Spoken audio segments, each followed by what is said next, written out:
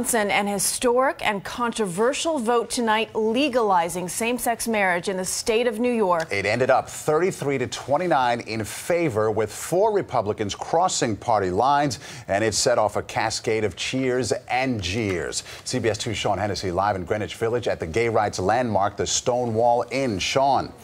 Yeah, Maurice, tell you what, they've been packing the streets here all night. Couples hugging each other, kissing each other, taking pictures, really drinking in the moment, making sure they mem memorialize where they were when this historic vote happened. Uh, on the jukebox here, the song I Believe in Miracles just came on.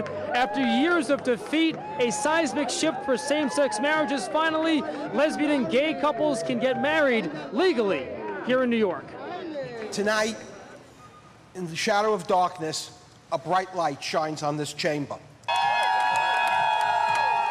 There was cheering in the streets of Greenwich Village, a celebration of a time. I can't say enough about this. It's really amazing. Gays thought would never come. I'm crying. You know, I can't believe that this is, is actually happening. Moments earlier at the state capitol, lawmakers put their legacies on the line. Ayes 33, nays 29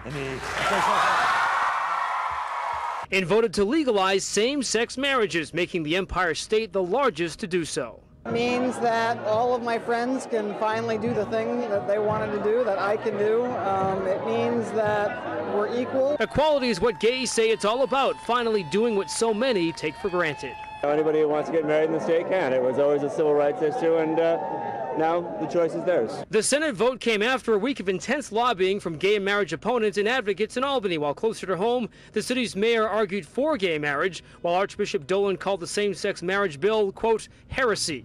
The swing vote came from Stephen Saland, a Republican who changed his position. I know my vote uh, is a vote of conscience. But it hasn't been approved by the people. It's been the legislators that have shoved this down the people's throat. Tonight, the Catholic League blasted lawmakers, accusing them of dropping the ball while creating a slippery slope.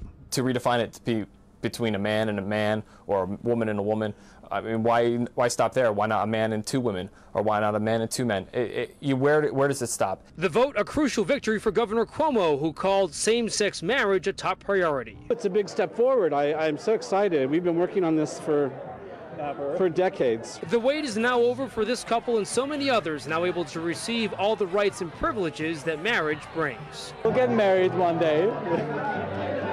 but not, not, not next week. we're, we're, not, we're not stepping into City Hall tomorrow morning.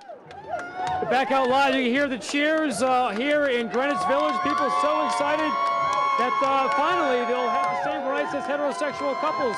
This bill will be signed soon by Governor Cuomo, who championed the project uh, through the Assembly and through the Senate, and then will take effect 30 days after that. So clearly, we should be seeing same-sex marriages in the state of New York by midsummer. We're live tonight in Greenwich Village. Sean Hennessy, CBS 2 News. Sean, thank you. The vote tonight certainly isn't sitting well with New York Archbishop Timothy Dolan. Just moments ago, he issued a statement saying, in part, we worry that both marriage and the family will be undermined by this tragic presumption of the government in passing this legislation that attempts to redefine these cornerstones of civilization. And so New York joins five other states that allow same sex marriage. They include Connecticut, Vermont, New Hampshire, Massachusetts, Iowa, along with the District of Columbia. Four of those states allow some limited religious exemptions.